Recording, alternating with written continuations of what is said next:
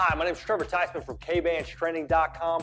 Today we've got a great drill for you basketball players out there really looking to improve our skills around the blocks. With the attacking lane drill, we're going to need four speed and agility cones to help with our spacing.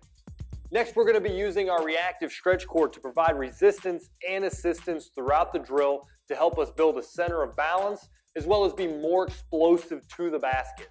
Be sure you take a little bit of time to be comfortable with the setup of this drill because we don't want to make things complicated when we get out there. We want to sit right on point and make sure that we're getting everything out of every rep. To begin, we need anchors to have that stretch cord to be extended out to be about 8 to 10 feet to provide a little bit of resistance right out of the gates.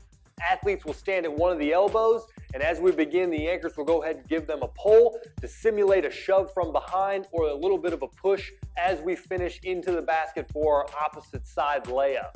As soon as basketball players finish the layup, go ahead and settle down into your seat, shuffling explosively into the resistance to the other cone. Here, anchors, be sure that you're walking up from where you began because our goal is to get up towards that top side elbow for the final turn. As you move to that third cone, you're gonna rotate, keep that weight over that inside foot, and explosively gain ground and sprint all the way to the third cone, breaking down with those patter steps as you reach the cone. Now open up your hip and shuffle explosively to the fourth cone, picking up the ball and moving into a nice jump shot. Anchors, be creative and give your basketball players that little bit of extra, giving them more or less resistance to affect their shot. Remember, we're trying to make these drills as game-like as possible, so you have the ability to be able to add and subtract resistance at any time to throw them off their center of balance.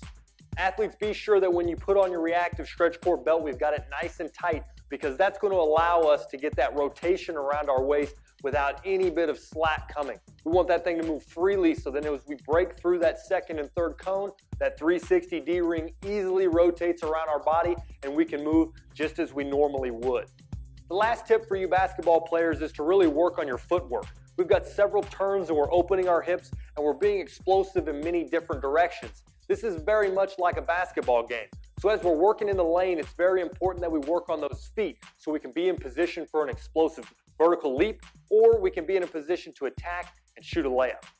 Take some time to focus on the footwork provided in the video and be sure that you're mimicking these types of movements. We want to be able to open our hip and be explosive as well as pull up for that jump shot like we said at any time.